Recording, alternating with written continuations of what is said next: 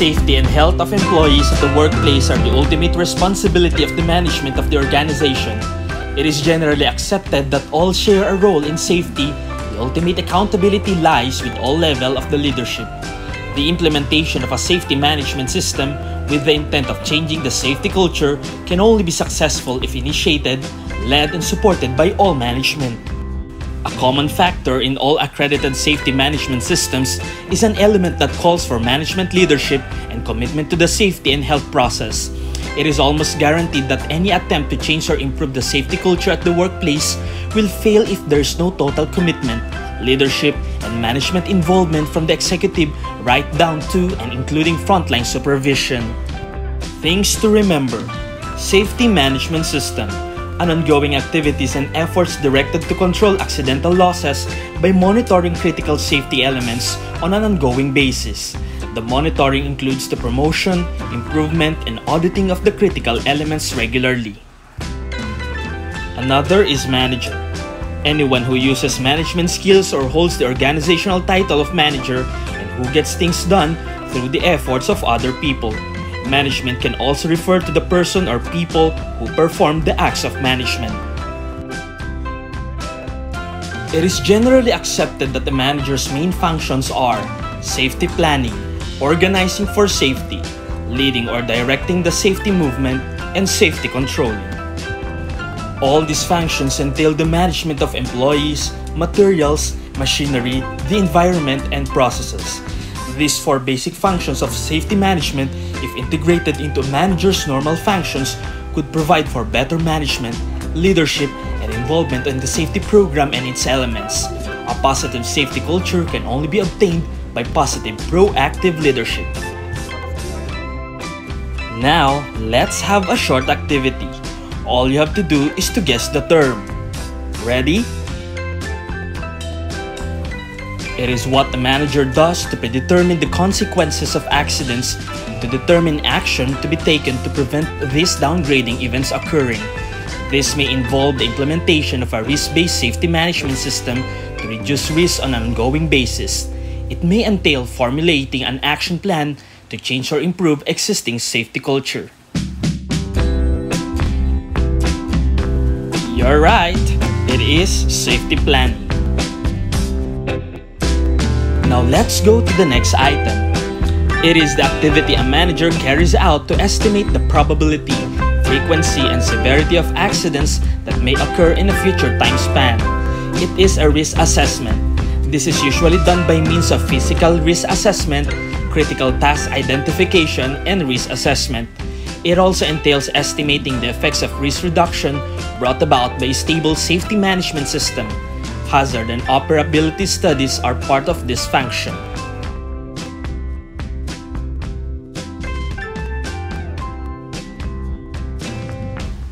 You're right, it is safety forecasting. Let's go to the next item. It consists of a manager developing standing safety decisions applicable to repetitive problems that may affect the safety of the organization. Policies or standards are the backbone of a structured safety system. These standards must be developed and approved by the executive team with involvement from unions and employees and word from the organization's SMS. The correct answer is setting safety policies. Now, let's move on. The leading document in the safety system is the official safety and healthy policy issued by the executive management. This policy forms the commitment to implement a structured safety management system, which in turn will bring about a change in the safety culture. The policy should be prominently displayed in the office foyer, on the company website, in the employee safety handbook, and on safety notice boards.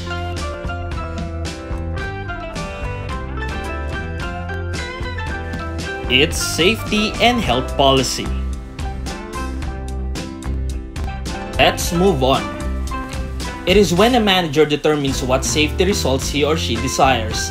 This includes incorporating a formal safety system with a view to changing the existing safety culture. The structured safety system should contain a number of written objectives defined in the system standards. One objective for the organization could be to hold an executive safety committee meeting each month. Another could be the number of plant inspections to be done by each manager. The safety system should require a number of objectives to be set and met on daily, weekly, and monthly basis.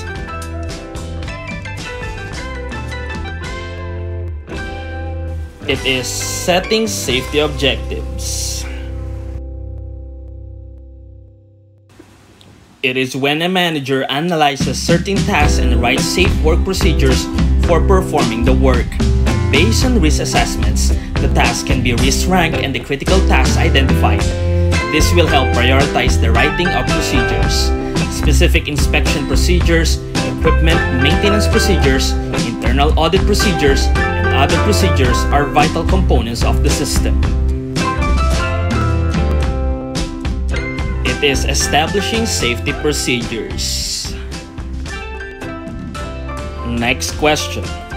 It is establishing the priority and following order of the safety action steps that must be taken to reach the safety objective.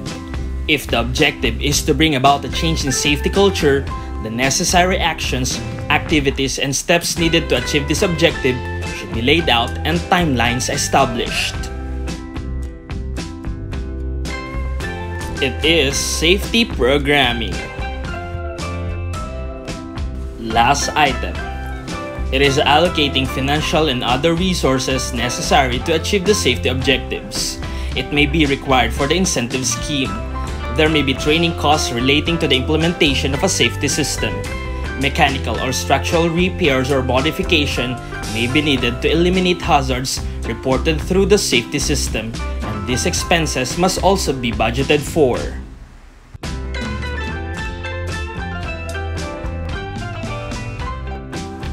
You're right, it is safety budgeting.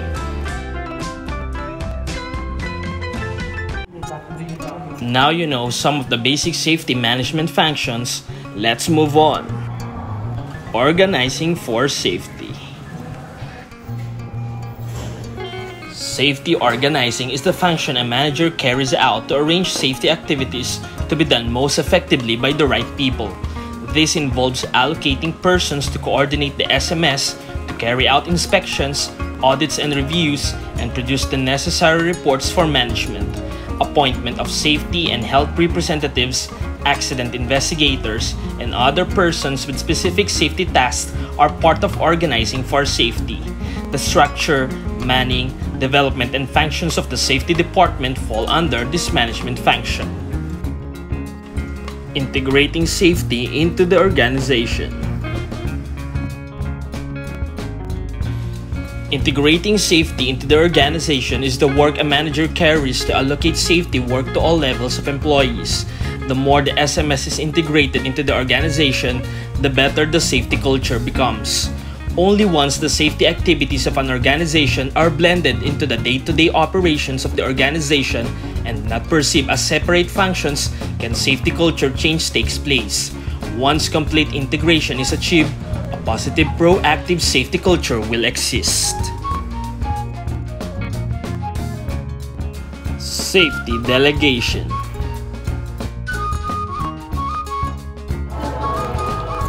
Safety delegation is what a manager does to entrust safety responsibility and give safety authority to his subordinates, while at the same time creating accountability for safety achievements. Creating safety relationships. Creating safety relationships is work done by a manager to ensure that safety work is carried out by the team with utmost cooperation and interaction among team members. The ongoing safety system requires participation, support, and action from all levels within the organization and cannot be left as one person's, one department's, or one's manager's responsibility. Safety responsibility. Safety responsibility is the safety function obligation allocated to a position in relation to the authority of the post determines the level of safety accountability of that post. It is the duty and function demanded by the position within the organization. This lies with all levels of management as well as with employees. The higher the management position, the higher the degree of safety responsibility. one cannot be held accountable for something over which one has no authority. The degree of safety accountability is also apportioned to the degree of safety authority. Job descriptions are vital management tools and should clearly define the safety authority, responsibility, and accountability of each job and each level within the organization. Safety Authority Safety authority is the total influence, rights, and ability of the position to command and demand safety actions. Management has the ultimate safety authority and is the only echelon that can effectively initiate, implement, and maintain an effective SMS and create safety cultural changes. Leadership has the authority to implement and maintain safety and also the authority to take necessary remedial measures if there are deviations from accepted safety practices and norms. Safety Accountability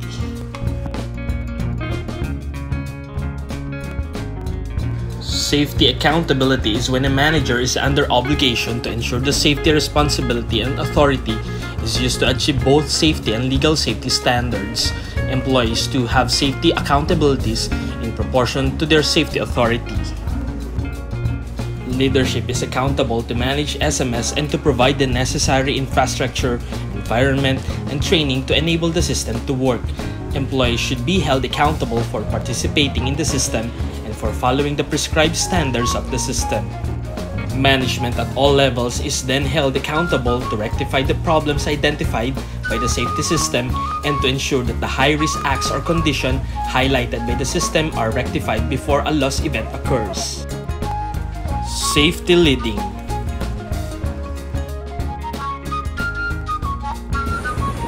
Safety leading is what a manager does to ensure that people act and work in a safe manner. Entails taking the lead in safety matters, motivating, making safety decisions, and always setting the safety example. This is one of the most important management functions in implementing and maintaining a safety system, and more so when changing the workplace safety culture. This is where change begins. The principle of leadership example states that people tend to emulate their leaders. Most employees want to please their immediate supervisors and do so by following their behavioral example. This could be a positive safety example or a negative example. The attitudes and actions of managers at all levels are among the greatest motivational forces in safety management condoning any high-risk situation sends a message that it is acceptable practice and employees follow the example and continue with the practice thinking it must be alright as managers have condoned it. Here are the functions of safety leading. Making safety management decisions is when a manager makes a decision based on safety facts presented to him or her during the process of safety culture change, there will be a multiplicity of decisions that need to be made. This is what a manager does to give and get understanding on safety matters. This is one of the key components to safety culture change and the maintenance of a positive safety culture. This function entails the creation of various safety communication channels from the workplace to management and from management to the workplace. Regular feedback to the workforce on safety matters helps foster safety communication and reporting by employees informs management about conditions on the shop floor. It is one of the vital ingredients to safety success, especially to safety culture change interventions. Of all the efforts and function carried out by the leadership, positive behavior reinforcement is likely to have the greatest effect on the success of the safety system and consequent cultural change. A safety system is centered around managers and employees. They are key players and as such, they need to be recognized especially when they do things right. Safety people have a history of catching people doing things wrong and issuing punishment accordingly. This has not helped progress safety at all. A recognition of employees for adhering to safety rules and for participating in the safety processes reinforces their involvement and encourages them to continue doing the correct things. It is the function a manager performs to lead, encourage and enthuse employees to take action for safety. Traditionally, incentives in many instances hard cash have been given as safety incentives but were given mostly for being injury-free, which has nothing to do with working safety. The power of these injury-based incentives is that employees are prepared to hide their injuries and not perform them for fear of losing their safety bonus. This is one of the practices that has created a safety culture of fear, intimidation, and dishonesty, and which pays employees to cheat the system rather than participate in it. Incentives should never be in the form of cash and should never be linked in any way to injuries. They should be small tokens of appreciation that are given to employees who participate in positive safety actions. Examples are maintaining the housekeeping standard in their area, frequent reporting of near-miss accidents, submitting safety suggestions, wearing personal protective equipment, and attending safety committee meetings. Acknowledging employees is vital to the success of the system. The power of a small gesture of thanks and recognition cannot be overstated in its importance in bringing about safety culture change. Hiring and appointing employees is a function in which management ensures that someone is both mentally and physically capable of safety, carrying out the work for a position. Hiring the correct person for the task is a prime consideration for the prevention of accident. The success of coordinating the safety system will indirectly depend on the support it receives from the safety department and this depends on the quality of safety and health staff initially appointed. Developing employees a manager develops people by helping them improve their safety knowledge, skills, and attitudes. Management has to ensure that the safety and health staff is up to date with the latest trends in safety and risk management and that there's an ongoing self-development program in place for them. Further studies as well as membership in local, regional, and national safety and health associations should also be encouraged. Get MAC the function of all safety departments and personnel should be to guide, educate, train, and motivate all levels of management, workers, and unions in the techniques of accident and disease prevention and to advise and coordinate the safety system. This should be a staff function and not a line function. All employees have some safety responsibility, but management, senior and line, has ultimately safety priority and is ultimately accountable the safety department cannot and should not be held accountable for the safety performance of an organization. This has been stated by a number of safety authors, yet safety department traditional drift back to managing the safety of others. When appointing safety and health department employees, management has a duty to the safety profession to ensure that suitably qualified and experienced practitioners are selected. Safety departments should be professional, their responsibility is to advise management and coordinate the activities of an ongoing safety management system. They cannot improve the safety by accepting responsibility for safety. They should not direct, try to influence behaviors of employees. Only management can do that. Traditional safety is thing of the past. New approaches are needed by safety staff if they are to assist in the safety culture change process. Safety controlling Safety controlling is the management function of identifying what must be done for safety, inspecting to verify completion of work, evaluating and following up with safety action. This is the most important safety management function and is how safety culture is formed, modified, or changed. Step 1 Identification of the risk and safety work to be done to change a safety culture. Based on risk assessments, a manager lists and schedules the work needed to be done to create a safe and healthy work environment and to eliminate high-risk acts of people. If the needed is to change the safety culture at workplace, this would mean introduction of a suitable structured SMS based on world's best practice. All SMS should be based on the nature of the business and be risk-based, management-led, and audit-driven. What are critical elements? Critical safety elements including environmental and employee factors that need to be controlled constantly to prevent accidental losses from occurring. The safety management system should contain some 70 key areas that need to be controlled. They include items such as safety training, safe work procedures, management involvement, energy and chemical control systems, and housekeeping. These are critical safety elements. Critical safety elements are those elements most likely to give rise to losses.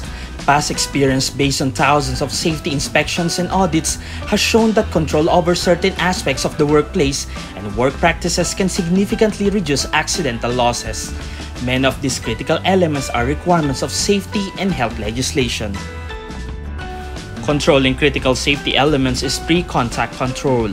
This is effort directed toward the prevention of undesired events. Once controls over certain critical elements are exercised, proactive safety is practiced. This determines the difference between a proactive and reactive safety culture. Why these elements? There are usually between 60 and 80 critical safety activities or elements that must be controlled to constitute an effective safety system. These elements may vary from organization to organization and from industry to industry. The emphasis on individual elements will also vary according to the nature of the process, culture of the workforce, and category of business. Examples are mining, iron and steel industry, transportation, fishing, manufacturing, and others. The principle of critical few states that a small number of basis causes could give rise to the majority of safety problems few critical tasks could be responsible for the majority of accident and injuries occurring and these items should receive maximum safety control to minimize their potential for causing the majority of problems. Pre-contact control is directing the safety efforts toward controlling these crucial areas before a loss occurs. Most safety systems are reactive and only institute controls after a loss have occurred. This is termed post-contact control, firefighting, patch prevention, treating the symptoms, and not the cause. This is the main course of action in a reactive safety culture. In implementing safety culture change management, one should also focus on those safety activities that have the potential to bring about the biggest culture change with the least amount of effort. Benefits The benefit of controlling critical safety elements is that the work being done to manage safety is channeled towards reducing the risk and potential loss in areas that have been identified as crucial. Some critical safety elements help control the physical conditions and the health and safety of the environment that would contribute to the reduction of losses as a result of an unsafe workplace. The act of cleaning up a workplace helps to clean up the thought processes of those in the workplace. The physical conditions of the workplace have a major effect on the attitudes and behaviors of employees positive safety culture cannot be nurtured in a dirty, disorderly work area. Many psychologists refer to behavior modification of employees in a workplace as the key to safety and indeed safety culture success. This does not take into account the fact that if you put an employee into a work area that is poorly lit, disorderly, and untidy, his or her behavior will be a reflection of those conditions Whereas if you put a person into an area that has immaculate housekeeping, neat stacking and storage, is well lit and provides a place for everybody and everything in its place, his or her behavior will also be positive and in order. That's where changing the safety culture begins. Other critical safety elements are directed toward the control of persons within a workplace. These controls include critical task procedures, rules, training and activities to improve, motivate, guide and train employees in safe work practices. Numerous safety elements help control both in the behavior of people at work and the work environment and procedures. No hard and fast dividing line can be drawn between elements, defining them as either behavior or environmental control. One influences the other. All elements are mini safety culture change interventions and demand certain actions and performances that eventually create behavior and conditions that equate to an ongoing safety culture. Elements to control the environment include housekeeping, lighting, electrical safety, stacking and storage, ventilation, lifting gear safety, demarcation, machine guarding, hazardous substance control, etc. This set an environment that is conducive to positive behaviors and attitudes and eventual safety culture. Elements to control behaviors and ensure safe work procedures include critical task procedures, rules and regulations, appointment of health and safety representatives, holding of regular meeting, safety communication, safety promotion campaigns, medical examinations, and others. Step 2. Set standards of performance measurement. Standards in safety are referred to as measurable management performances.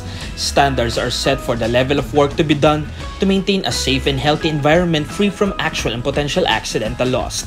Standards are established in writing for all the safety and health management system elements. Without standards, the management program has no direction or safety expectations established.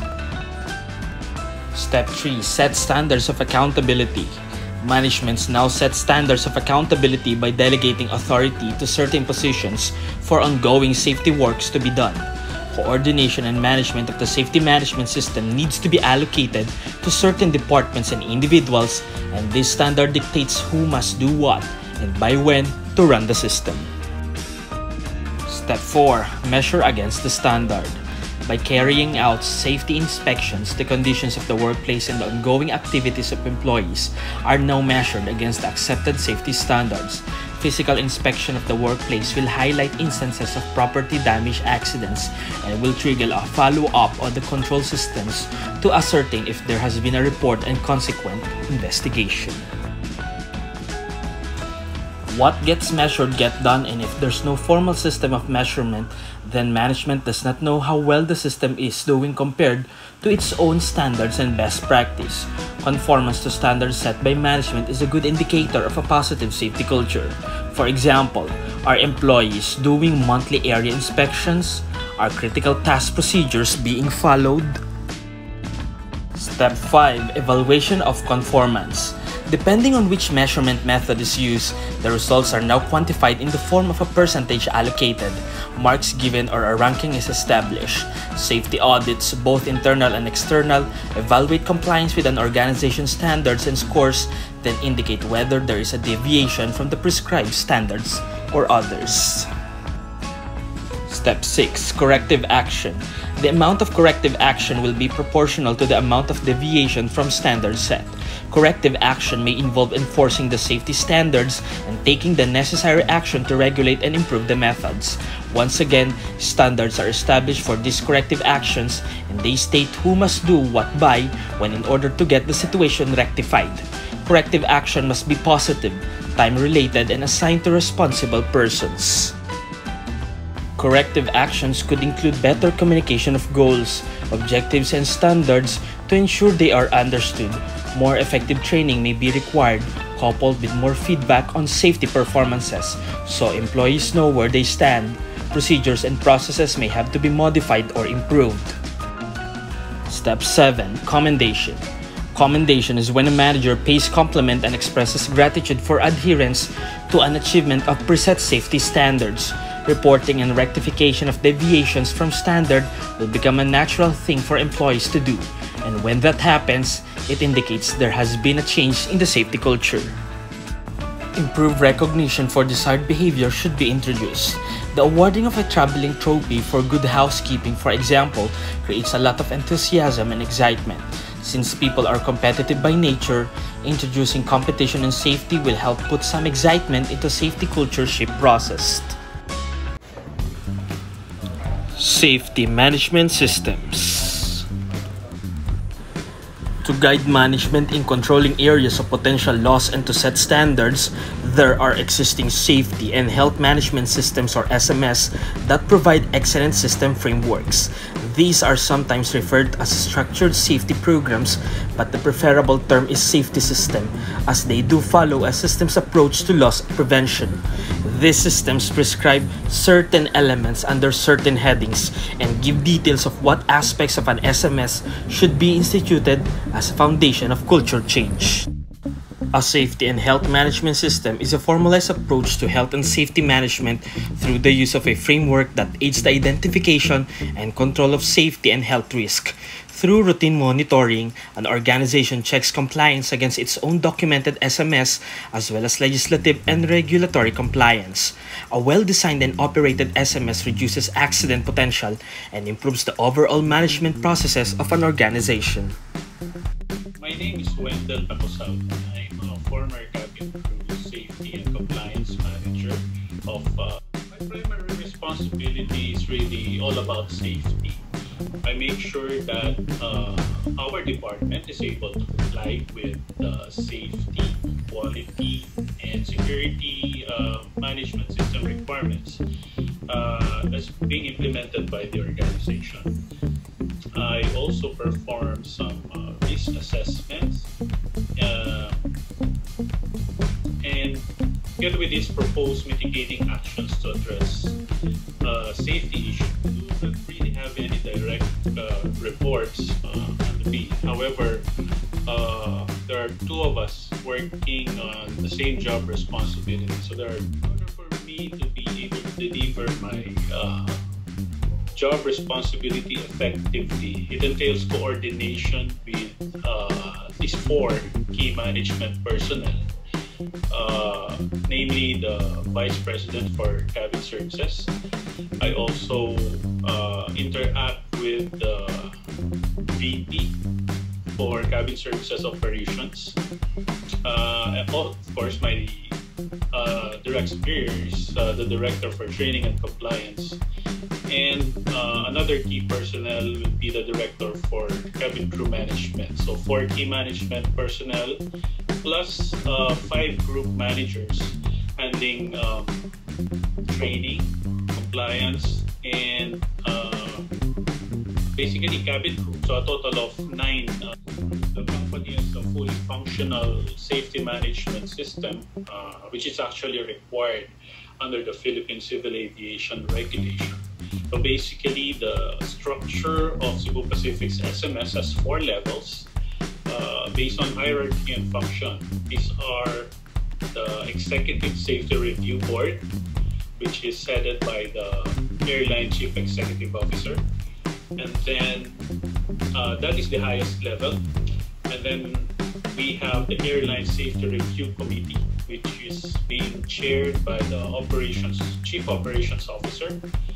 Uh, then on the department level, we have the Safety Review Committee, of course, uh, chaired by the department heads. And uh, for the line personnel, we have the team managers who are leading the safety action group. So the ESRB, uh, or the Executive Safety Review Board, meets on a quarterly basis to discuss uh, safety performance and high-level safety issues uh, that are encountered by the organization. Uh, while the rest of the committees, uh, they meet on a monthly basis to keep tabs on trends, uh, updates on uh, safety issues, and hazard mitigation. So basically, that's the the process. We're going to trace back.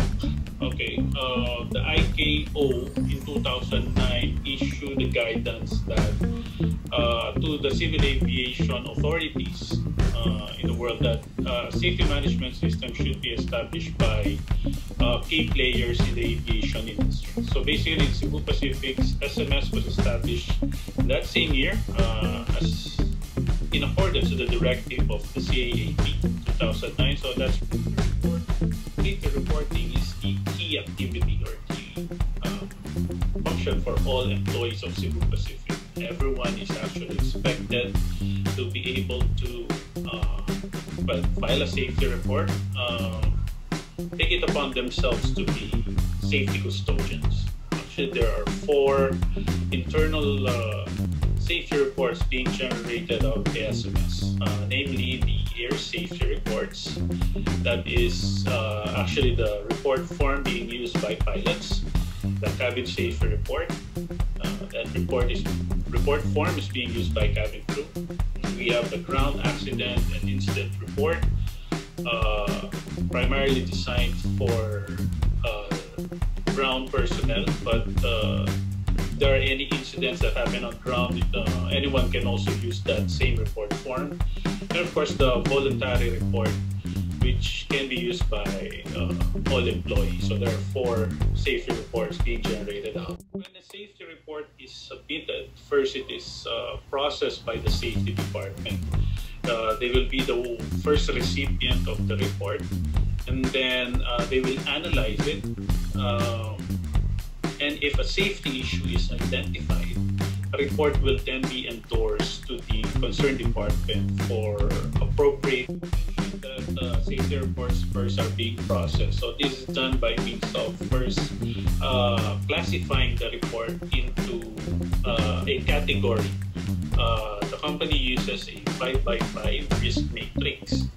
So a safety report can be classified as uh, extremely low risk, low risk, medium risk, high risk, and extremely high risk. So uh, the reports that are classified under extremely low and low risk are just recorded in the system for trend monitoring. Uh, no action is actually needed uh, unless we see a spike or a trend in this kind of incident. While for the other categories, such as uh, medium and high risk uh, reports, significant action needs to be taken uh, by the concerned department to reduce the risk to as low as reasonably practicable. And for extremely high risk events, that we need to these events need to be addressed within 24 hours actually. Uh, often these reports are uh, poses uh, extremely high risk that should be reported to the Civil Aviation Authority of the Philippines within 72 hours. So, um, based on these categories, uh, that's how uh, findings are being addressed. It has been said that uh, the safety management system is expensive to implement. Why not try an accident? If you give it a, uh, a thought, although flying is considered the safest mode of uh, transport, one accident alone, uh, say a mid-air collision, has a devastating effect with the loss of so many lives. So this kind of accident can cripple an organization and even has a multiply, multiplier effect to the whole industry.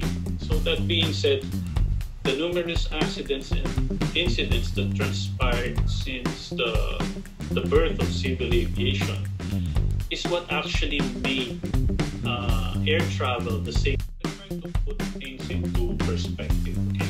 So when performing accident or incident investigations or when you're doing a hazard identification or risk assessment, uh, you actually have to consider the human element. Concrete example is the conceptual uh, shell model, S-H-E-L-L, uh, being used in aviation, uh, human factors, which suggests that uh, in an accident or an incident, the human is rarely, if ever, uh, the sole cause of an accident. So with this in mind, human factors training uh, has been incorporated in the safety management system and has been highly adopted in the aviation industry.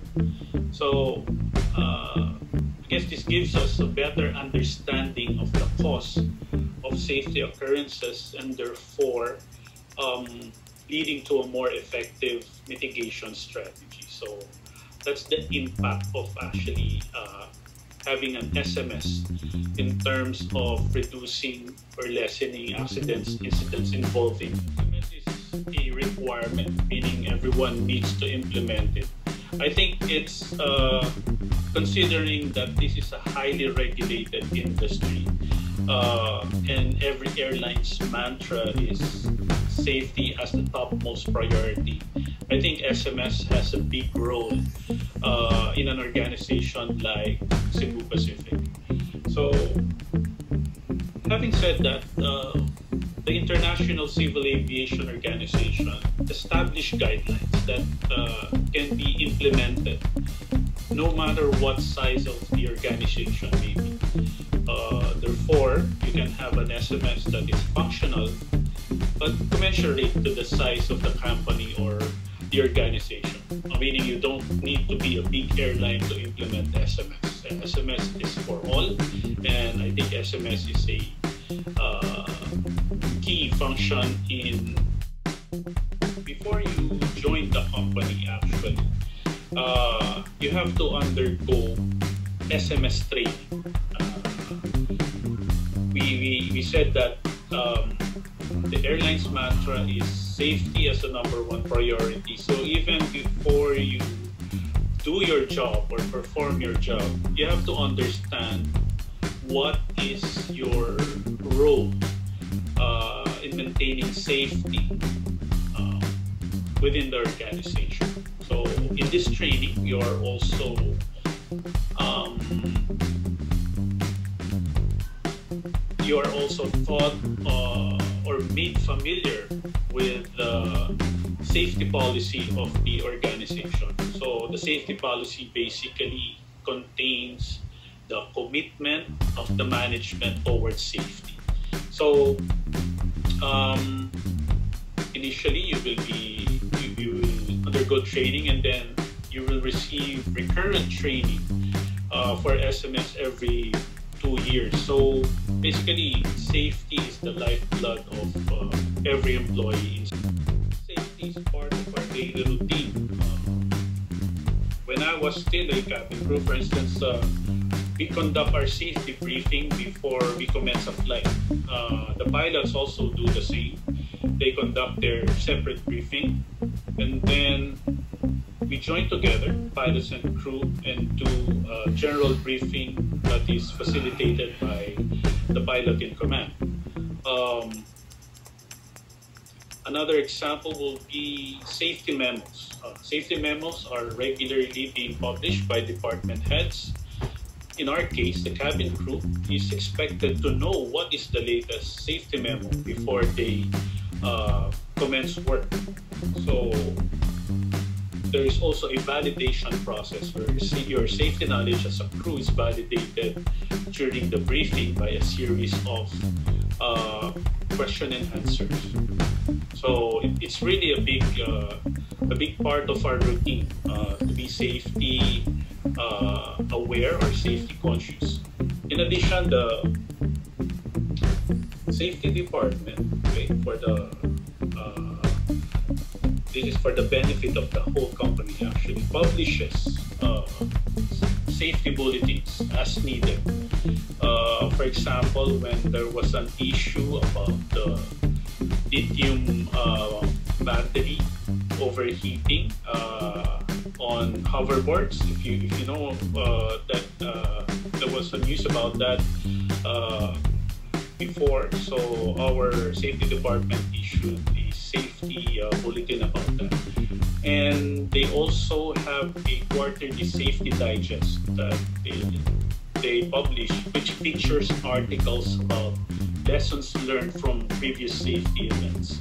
So this enables employees to be aware uh, and hopefully uh, not repeat the same mistakes as uh, from what happened in previous incidents. SMS should be risk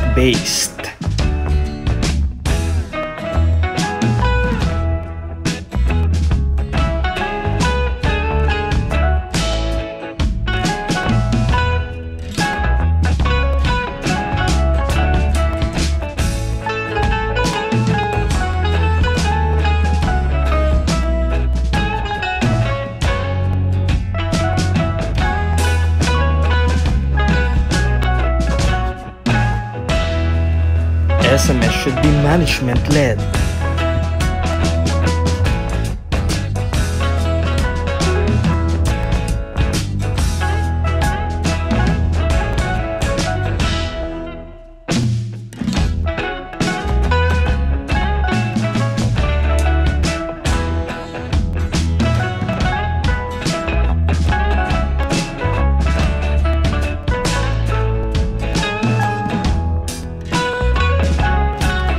SMS should be audit based.